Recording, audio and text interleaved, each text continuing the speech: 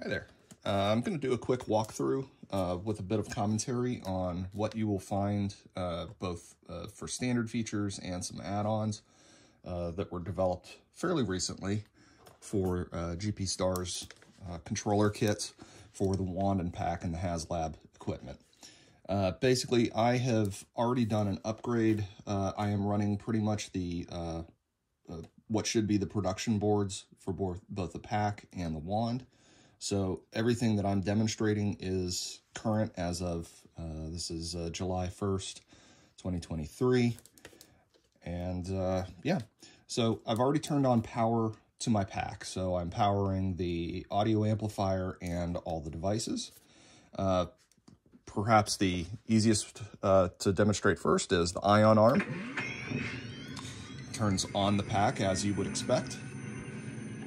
Turn down that volume a little bit. So you can flip the ion switch on, uh, uh, ion switch, uh, and it will turn on the pack. Once the pack is active, if you flip up the activate switch, that's normally what powers on both the wand and the pack at the same time. Uh, now we're in ready to fire mode. All right, what's cool is if I turn off the wand, it turns off both the wand and the pack. So regardless of where this switch is, now if I move this switch the opposite direction, now it's, uh, now everything comes back up and, uh, and runs. What's kind of cool about that, uh, whether intentional or not, is you could power everything down and then have someone, and then tell someone, hey, switch me on and no matter what the state of the ion arm switch, it's always going to turn everything back on. So you can, whenever you want to reenact the elevator scene, uh, feel free to do so. Uh, that's easy to do. All right, so let's talk a little bit about uh, some features uh, that have been uh, added to my particular setup. I've taken the liberty of converting my bar graph. So instead of the stock HasLab 5 LED, this is the 28 segment bar graph. This uses uh, an additional serial connection, which is built into the controller, and an additional 5 volt out. So basically, I've already got power and the serial connection needed to run this. This is really nice. Um, as you can see, the animation sequence is so much cooler uh, with the additional elements uh, than with the stock 5. The stock 5 will still do sort of the same uh, pulsing. And for the 1984 and 89 mode, uh, the bar graph when in idle state will just sort of do that little bounce uh, between the, the lowest setting and whatever the uh, current power level is. Turn off the beeping. Um, so you may notice there is a light on the top. This is uh, Hat Light 2. This is uh, one of the add-ons uh, that you can do. So this is built into the controller. So if you want to replace that little orange nubbin uh, that comes stock with the, uh, the wand, this is fairly easy to cut off, drill out, and place a lens uh, in that spot. And all I have is just a standard uh, amber LED right behind that. Another upgrade uh, that you could do is upgrade Hat 1, basically turning this button into a LED as well with a uh, clear lens or with uh, amber lens and making this the switch using a standard push button. I've not yet done this. There's a bit more involved with getting some of the plastic apart here. I'm not quite ready to, to tackle that, but that feature is available. But I'll tell you the one that's really worth it. That one tip light. So when you are firing at a low speed, you've got a nice uh, reddish proton stream and a slow blink on that one tip, which is always white, by the way. This is just set up to use a uh, flat top LED with a 160 degree. So basically it's, it's almost flat. Uh, you could see it all the way around. And so it, it, it, comes up pretty much right to the edge. I just put a little plastic dome, 3D printed a little dome to put over it just so that you don't see the LED. Um, but as you turn up the power, the strobing effect is more pronounced. The proton stream goes more amber. Oh, and let's show if you hold down and keep firing at the full stream, you will get not only the bursts of smoke, as you can see from the end filter, but it will do the overheat sequence and the venting sequence. There we go. All right, so some features that were added to this. Uh, first of all, uh, switching modes. Um, I have done the replacement of the of the stock lights uh, in my lid with a RGB uh, pixel ring.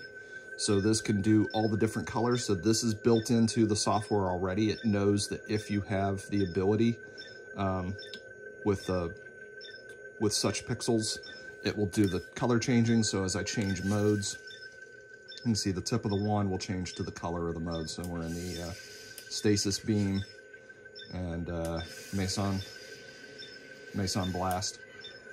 Now there's another, there's a new special mode that was just added. Uh, and uh, this is part of the uh, video game modes, by the way. So when you get to this uh, fifth mode, you'll see this light, the slow blow, these start blinking. Basically, we're in a vent mode. So if you just press the activate button, it instantly triggers the pack venting sequence. So if you just wanted to show off or just test the uh, smoke system, that will, uh, this, this mode will let you do that and only that. And then press it one more time and we go into the menu system. So this menu is audio only. Uh, we, you move through this menu. You may have seen this demonstrated before. At level one, we have the jukebox mode basically. So that'll start playing the music, press it again, it stops. All right, so as we get to number two on the menu, that will advance the track. So if you uh, press intensify, that'll advance. And if you've gone too far and want to go back a track, just press the alt button. Uh, so that's uh, menu level two. If we go up to three, that's the music volume. Intensify will uh, raise the volume, while alt fire will uh, lower the volume. Going up to menu four, that is the sound effects. So if you have both music and sound effects uh, playing, this will increase the sound effects, this will lower the sound effects. So basically, because this is polyphonic sound, those music tracks are on their own sort of uh, setting. Uh, it, the pack and the wand know uh, whether or not a music track is playing and it will adjust the volume of that track independently while a uh, setting, separate setting for the uh, sound effects. So any sound effects that uh, need to play, they'll pick up the uh, current um, sound effect volume before they play. And then lastly, uh, menu level five, you press, uh, only the intensify button affects this. Press that button and basically the, the fifth element will lock steady. That means that you are in uh, track loop mode. So whatever track is currently selected or playing, uh, when you uh, have music playing, it will just keep playing that track over and over. Press it again, it'll go back to blinking. That indicates that you are out of the, um, you are out of that uh, loop mode. All right, and then press one more time, and we're back to the standard menu. All right, so let's go let's talk about um, the system menu that was updated fairly recently. Uh, Michael's demonstrated this. I'm just going to give some additional commentary as we walk through it. Again, when the pack is uh, powered down, same process. You just press the uh, Alt Fire button. You get into the menu system. The first menu you get is the same one that we just covered. This is the basically the music and audio controls. So same levels. Uh, number five is the loop sound effects, music volume, uh, track advance or, or de-advance, whatever that, whatever that word is, um, track stop and start. And if you keep turning this uh, counterclockwise, which uh, goes down uh, you'll notice the slow blow light uh, lights up. If you keep going, that's it. So we're basically in a second level of the menu system. And in this mode, we're affecting system operations. First of all, this level is really important. 1984. There's uh, audio cues and feedback. As you press this, you will cycle through the modes. So we just went into 1984 mode. Press it again, you go into 89. 1989. Press it one more time and you're back to Afterlife. Afterlife. I'm going to go into 1984 to demonstrate some things. 1984. All right. So we're now in 1984 mode. If we go up to the second level, now we're able to affect uh, some other pack operations. Proton pack vibration enabled. Okay, so that just enabled the proton pack vibration. Proton pack vibration firing enabled. And now firing enabled for the proton pack. So basically, um, those are two separate options that you can choose from, uh, how you want the, uh, the pack's uh, vibration feature to work. And then one more time, we'll disable all of that. Proton pack vibration disabled. So basically three states, uh, the proton pack uh, vibration overall, proton pack vibration fire while firing, and then disable. Now, uh, while we're in this uh, vibration mode, if you press the Alt button, Neutrino wand vibration enabled. That turns on the vibration for the neutrino wand. So uh, this this button does have a different effect uh, depending on which of the uh, menu settings you're in. Press it again, and we got we enable the uh, neutrino wand uh, firing vibration. Neutrino wand vibration firing enabled. And then again, the third time we'll disable. Neutrino wand vibration disabled. So in my case, I have I don't have the vibration motor, so I'm going to leave mine off. Make sure. Proton pack vibration enabled. Proton pack vibration firing enabled. Proton pack vibration disabled. Okay, so I've disabled mine because, like I said, I've I've sacrificed those for space and other things. Maybe I'll put them back in, but for right now, I, I don't have that, so I'm just going to leave that off. All right, so we're going to go up to menu level three. Now we're in, I believe, cyclotron counterclockwise. Cyclotron operation. So intensify is just going to toggle between clockwise and counter counterclockwise. Cyclotron clockwise, cyclotron counterclockwise. All right, so that affects the cyclotron direction, and then the alt fire affects some of the lighting, which is only applicable to the 84 and 89 modes. Cyclotron 3 LEDs. Cyclotron 1 LED. So the one LED just makes sure that there's a single LED in the center of each lens for those modes. Cyclotron 3 LEDs. Whereas 3 LED just lights the entire uh, triplet of standard uh, 3 LEDs in the center of each lens. I'm going to leave that on just so we can show what that looks like. Uh, number four, this should be smoke settings. Smoke disabled. Smoke enabled. So I definitely use smoke. So this lets you uh, toggle this on and off. Say you go inside a building, you want to make sure that when you overheat, you don't um, set off the, the smoke system. You can come in here real quick without having to open the pack or any doors and flip any switches. You can just do it in software and it will change that until you basically power off at the talent cell. So when you power off um, the entire uh, setup, everything will go back to defaults when you power it back up again. But as long as there's power to the boards, it remembers these settings. Um, you can control these as defaults in the software. So you could say, I always want smoke to be disabled by default and you want to go into the menu to enable it, that's perfectly fine. You can do that. You can you can set that default upload, and then that's uh, now set. Overheating disabled. And then the alt fire uh, affects the overheating uh, feature. Overheating enabled. Again, I've got smoke. I want to use it, so I'm going to leave that enabled. All right, and then number five. Cross the streams. This one's really cool. Uh, number five will go steady when cross the streams or cross the streams mix are uh, used. Cross the streams mix. So the difference between uh, cross the streams and cross the stream mix is basically whether or not you have to hold and keep holding both the uh, intensify and alt fire buttons to uh, trigger and keep the uh, cross the streams uh, feature running. Video game modes. And then, of course, if you press it one more time, you go back into video game modes, and that fifth element is going to blink to indicate that. So I want to show the cross the streams because this is really cool. Cross the streams. All right. So we can't we can't power up the wand just yet. We need to exit the menu system. So what we'll do is we'll just keep going up. So keep turning clockwise until we see all five LEDs lit. The slow blow will go uh, dark and then press the alt fire button again and we are back to uh, ready to ready to power up. All right, so you can see we're in uh, 1984 mode, cyclotron counterclockwise, and three LED modes. So that's basically all the settings that we modified uh, in the menu system, all done without having to open up the pack, change any uh, uh, switches or other settings.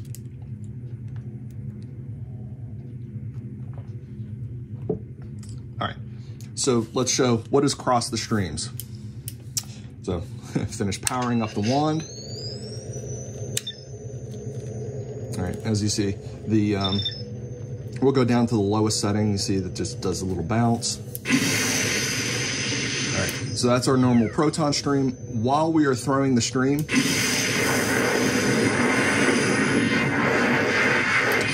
press the alt fire button and that will trigger the cross the streams mode. As you can see, the barrel LEDs go full white.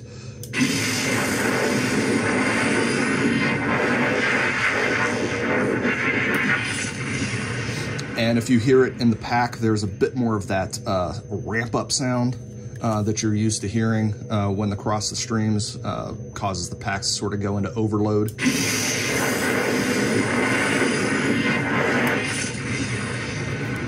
And if you go full stream while crossing the streams,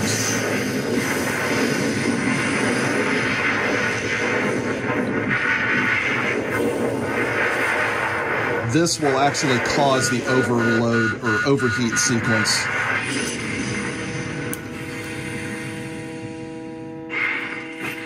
So basic, I think out of the box, the default is the um,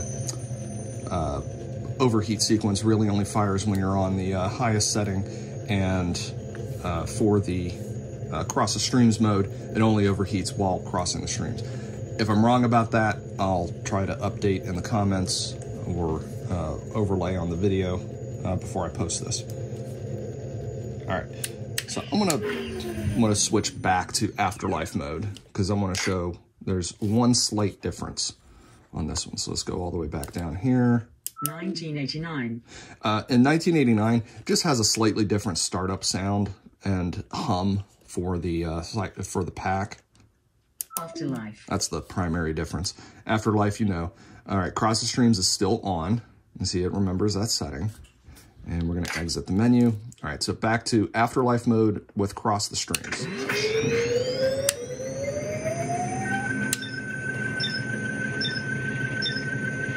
You see our uh, cyclotron direction is still set to counterclockwise because I didn't change that. All right, so hopefully this will be heard on the video. Listen for the uh, distinct change.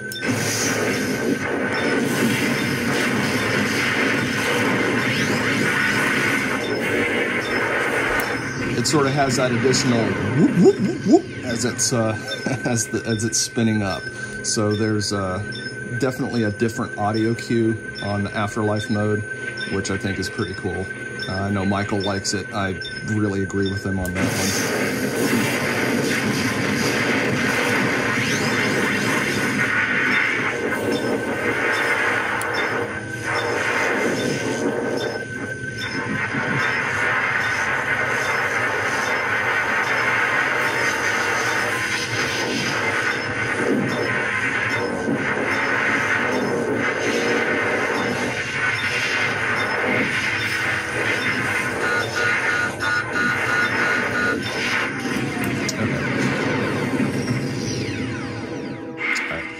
Kind of confirmed uh, what I thought. As I wasn't holding down the uh, alt fire button, so it was doing the minor overheat, so the occasional burst of smoke, but it wasn't doing the uh, full overheat sequence until I held down both of the buttons.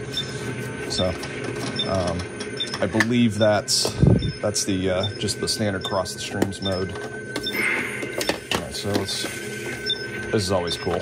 Um, just want to address uh, one thing real quick. Uh, we've had uh, some questions about the, let's turn off that beacon, had some questions about the uh, size of the LED rings. I believe the one that I have installed is a uh, 35 pixel, which sits at about 96 millimeters. So basically, this you can see from the calipers that is the uh, that's the size of the ring inside of the uh, cake. There are other options you can use. There are, uh, I think, a 82 millimeter, which may be a 24 uh, pixel uh, LED ring that is available. So there's a there's a multi there's a multi ring set available on Amazon. Uh, this one, this one's very particular. Uh, this has to be 40 pixels because I think it is uh, 100 and, 136 millimeters uh, between uh, on the outer dimensions. So this has to line up precisely. But it's a multi-ring kit, so there's another one in there that I think is 82 millimeters, and that might be just uh, 24 pixels. That would fit. Uh, it would basically fit right behind this uh, center ring on the on the cake. And there is another one that I think is uh, close to the uh, to the 35 pixel. I don't know if it's 35 pixels or 32 pixels, but from that maker, uh, it sits at I think 112 millimeters, and as you can see, that's almost the width of the cake itself. So uh, that places it pretty much edge to edge almost. So just be careful, uh, or you know, use your discretion as to which uh, which ring you want to use. But either one of those can be changed in software. So that's it. That's a walkthrough of the menu system. Uh, hopefully answering a few questions about the uh, uh, choice of products you can use. All right, take care.